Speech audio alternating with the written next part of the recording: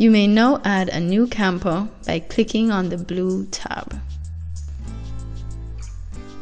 Here. And now I'll, I'll enter in the first name of my child, her last name, campus email address, and gender.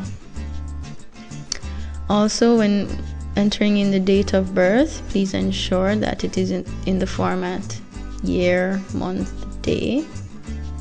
Enter in the school and the parent or guardian's mobile number.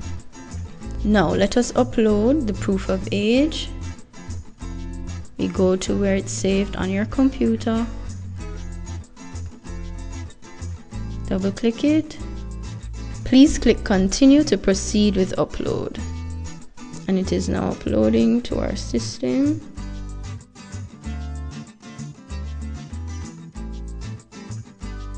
Okay, here is the review camper page. I can now add an emergency contact, entering in the first name, the last name, the person's email, and phone and then I select the relationship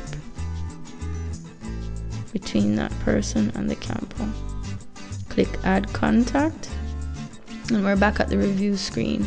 But upon reviewing, I'm realizing that the date of birth here is wrong for my child. So I click edit this camper and go back and change 97 to 98. Continue updated the information correctly. So I click finish.